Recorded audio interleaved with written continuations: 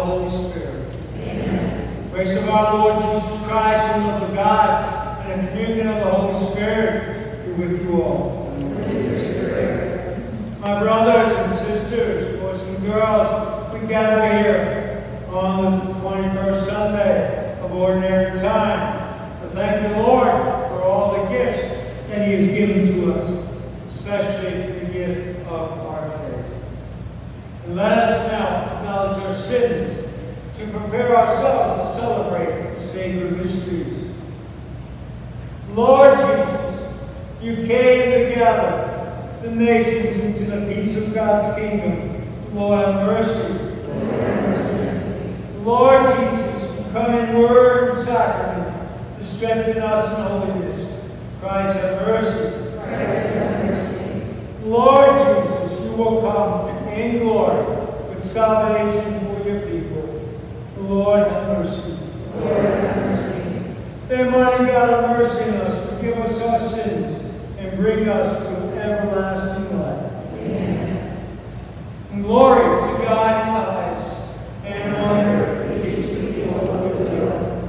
we praise you, we bless you, we adore you, we glorify you. We give you thanks for your great glory, Lord God, and King, O God, Almighty Father, Lord Jesus Christ, only begotten Son, Lord God, Lamb of God, Son of God. You take away the sins of the world, have mercy on us. You take away the sins of the world, receive our prayer. You are seated at the right hand of the Father, have mercy on us. For you alone are the Holy One, you alone are the Lord, you alone are the Messiah, Jesus Christ, with the Holy Spirit, and the glory of God the Father. Amen.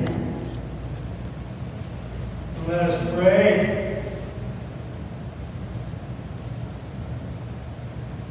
O God, who cause the minds of the faithful to unite in a single purpose, grant your people to love what you command and to desire what you promise. That amid the uncertainties of this world, our hearts may be fixed on that place where true gladness is found. Through our Lord Jesus Christ, your Son, who lives and reigns with you in the unity of the Holy Spirit, one God, forever and ever. Amen. Let us now open our hearts to the.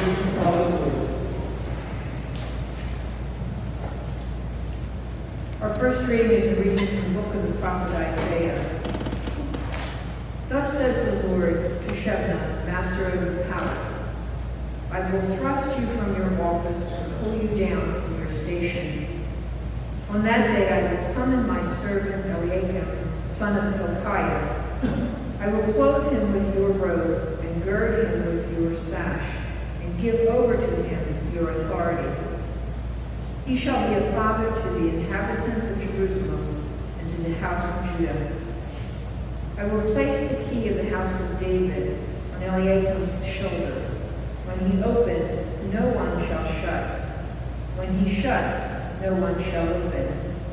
I will fix him like a peg in a sure spot to be a place of honor for his family. The word of the Lord.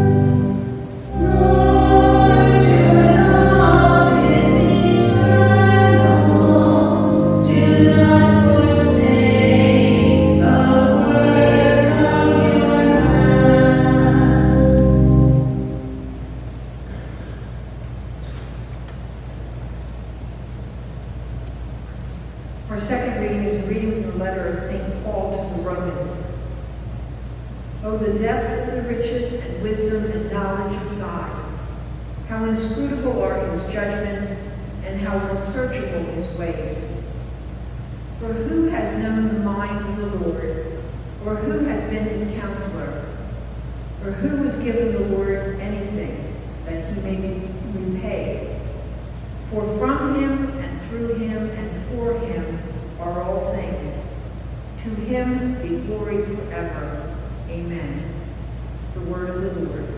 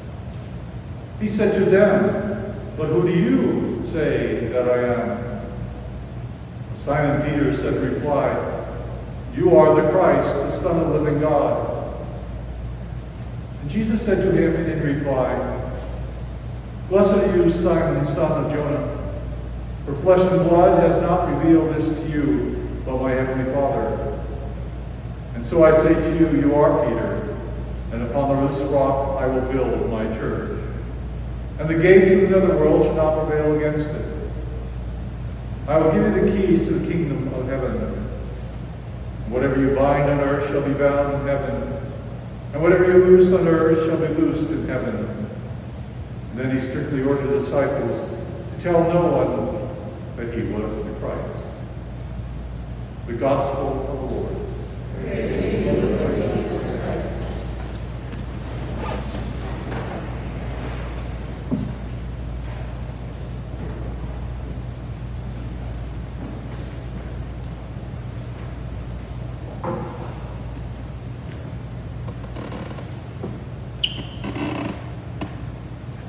You may have heard this question before, once or twice, or maybe many times in your life. But if you had the opportunity to begin your life all over again, is there anything that you would like to change? Anything that you would like to do differently? And I think that it's safe to say that most of us would probably say yes to that question. Most likely, if not definitely, Shebna, the master of the palace in the first reading, would have said, yes, yes. The Lord was thrusting him from his office, from his station. He could have changed his life right then and there. He would have said, yes, give me that opportunity. And what about Peter? If he could undo some of the things he had done before Pentecost, before the Spirit had come upon him, would he also have said yes? Remember, Peter tried to keep Christ from going to Jerusalem because he did not want our Lord to die. And what did Jesus say to Peter? He called him Satan. Get behind me, Satan.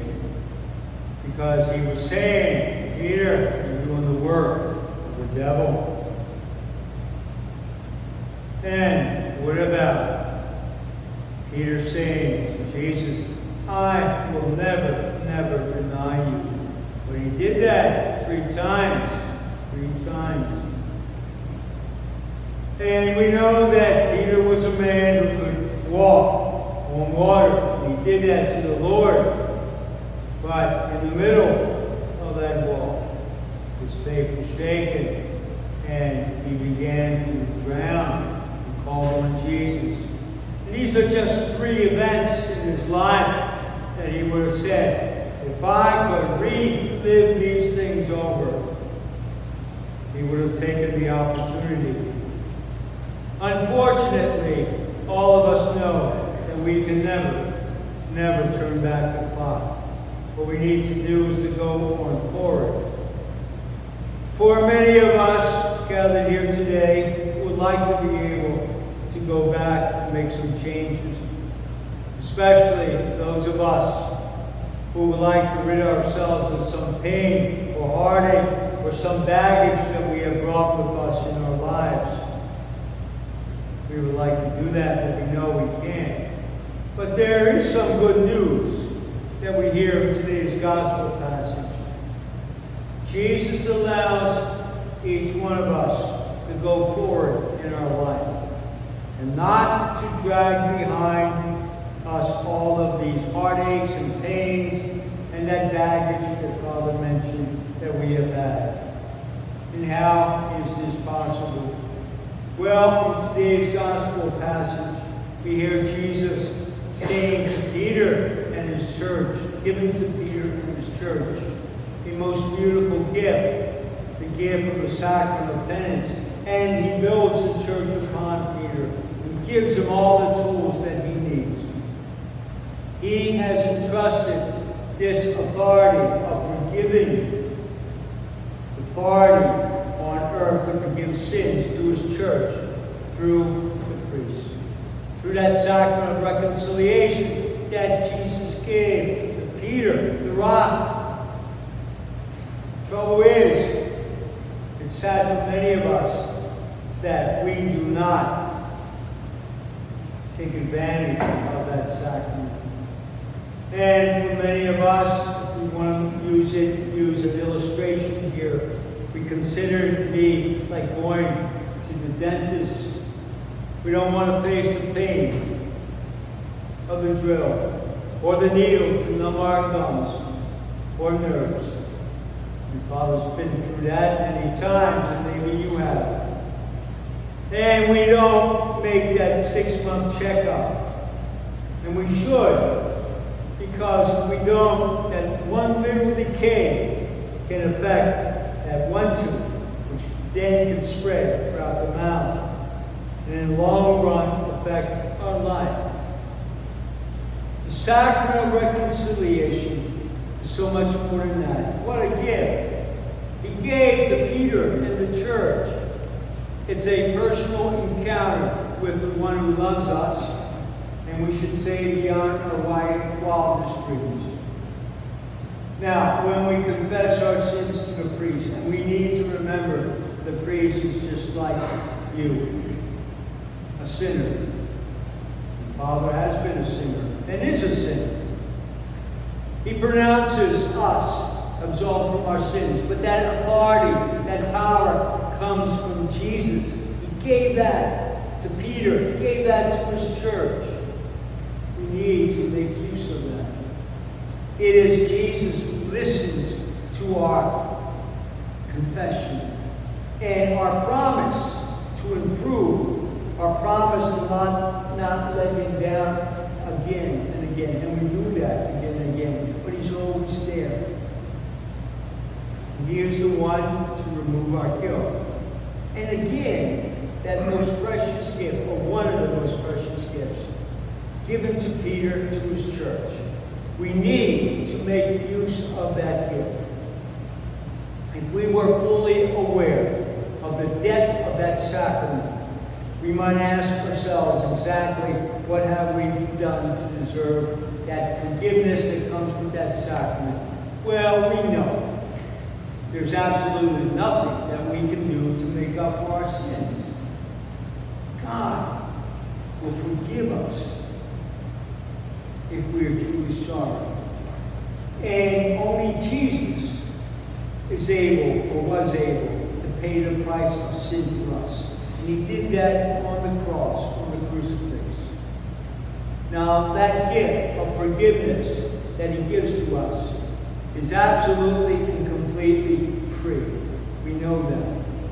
But one might say certainly not cheap because it costs our Lord Jesus his life on the cross. And that is why this sacrament is so valuable. So Jesus offers us this costly but free gift of forgiveness out of love. Not our love for him, which is weak, one might say very fickle. The source of our forgiveness is God's love for us. And that love is total and eternal, unconditional. So how great is that? How fortunate we are to be able to just turn every one of our sins over to God and be free of our fears and worries. And how fortunate indeed. But we do have to pay consequences for our sins, especially if our sins affect civil and social life. Then we have to pay for those sins. But our Lord will also forgive us if we do the right things. So that sacrament of confession is God's medicine for us, for us sick sinners. But again, what a gift that was given to Peter and to all the apostles and all the popes and bishops down through the ages. What a beautiful gift. So yes, in a sense, we can turn back the clocks. We can ask for forgiveness. If we're truly sorry, He will forgive us, and then we can move on, move on. We all want to move on. And then we can move on to the table where we can be nourished by His body and blood. Now let us stand as we profess our faith. I believe.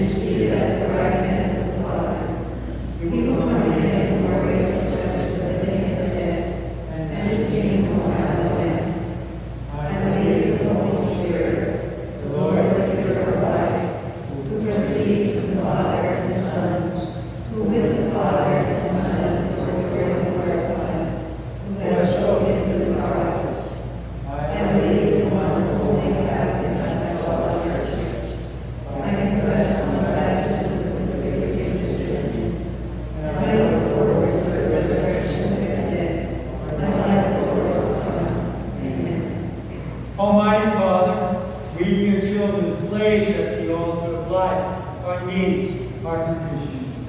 We're asking you to hear and provide for each one of us. Please respond, Lord, hear our prayer. For the leaders of our church, may the Holy Spirit continue to work through them to bring others to Christ. Let us pray to the Lord. For national and local leaders, may God inspire them to find solutions to the needs facing their communities and to respect all life. Let us pray to the Lord. For us, especially those struggling with chronic illness, may God bring them healing of mind and body. Let us pray to the Lord.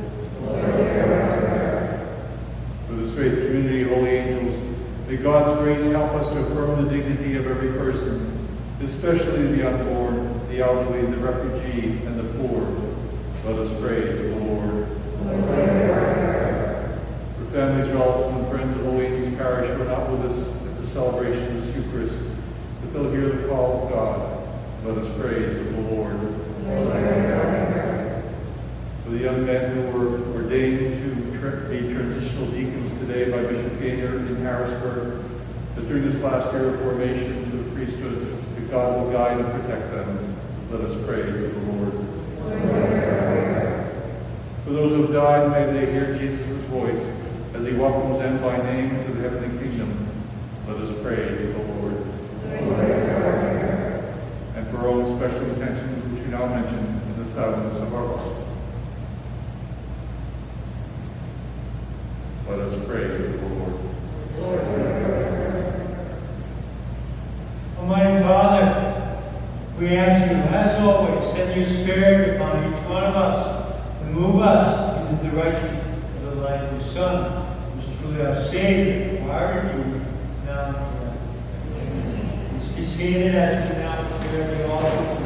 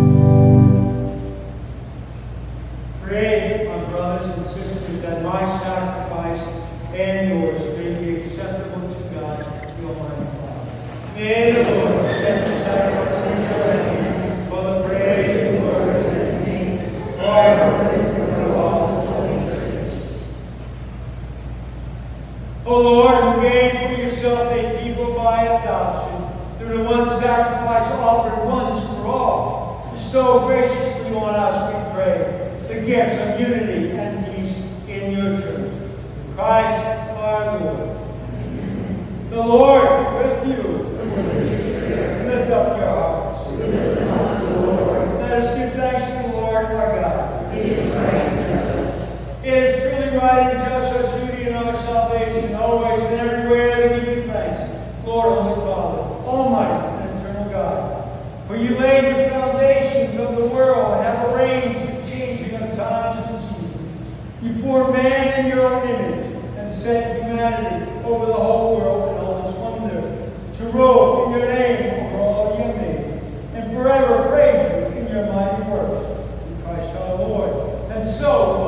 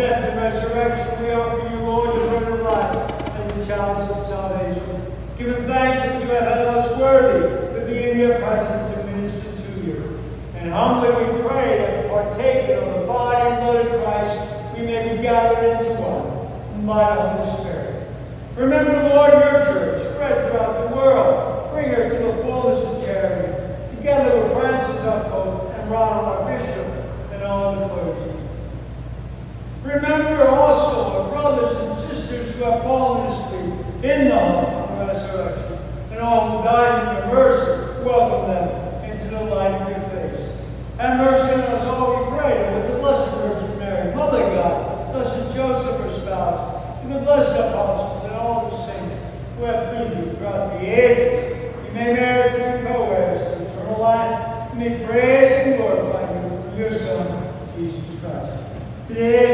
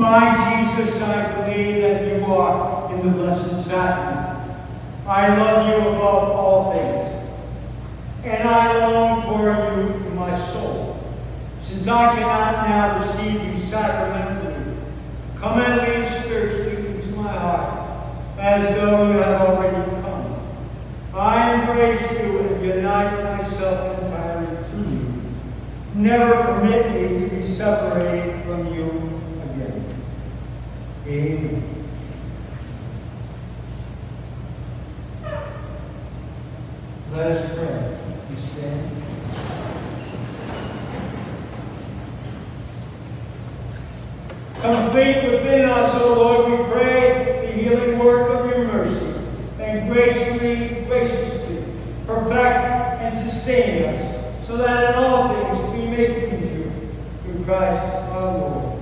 Amen. The Lord be with you. And with your spirit. And we pray, prayer to Saint Michael. Saint Michael,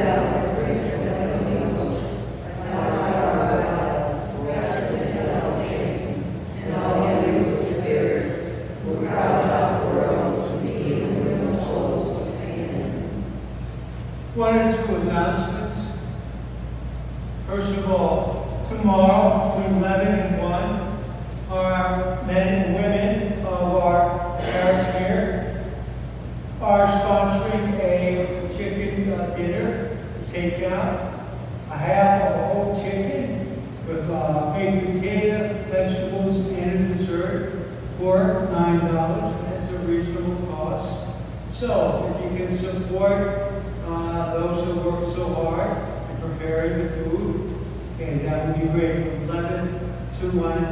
Uh, you don't have to put an order in. Okay, first come, first served. I believe there should be about 250 of those products. Also, uh, Deacon and I, in a moment, will give a special blessing. Okay, beginning Monday, school starts, I believe, at Mount Carmel and Lourdes for all our young people, those who are attending on site or uh, on computers. So we pray for all of them, for their safety. We also pray for all the teachers, staff members, those who are working on within the schools, and bus drivers, everybody that has a hand in bringing about great education for our young people. So Deacon and I will just come up to the middle here and give a special blessing. And I'm not sure if we have any young people who are going to school, but I have one person. Okay, why don't you come up here? Just stand in the middle.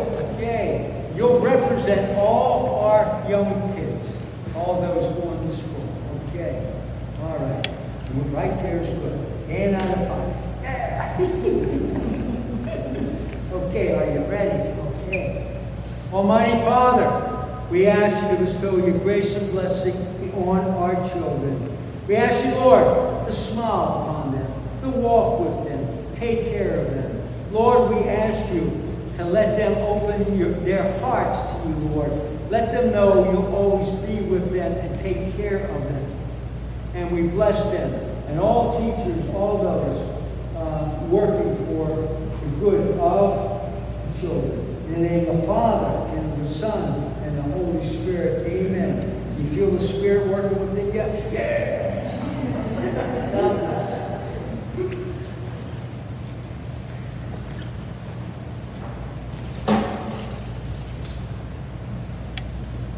Bow down for a blessing. Another blessing. We can use all the blessings we can get. May the Lord bless you and keep you. May he let his face shine upon you and show you his mercy. And may he turn his countenance towards you and give you his peace. Amen. May the blessing of Almighty God, the Father, and the Son, and the Holy Spirit come down on you and remain with you forever. Go forth,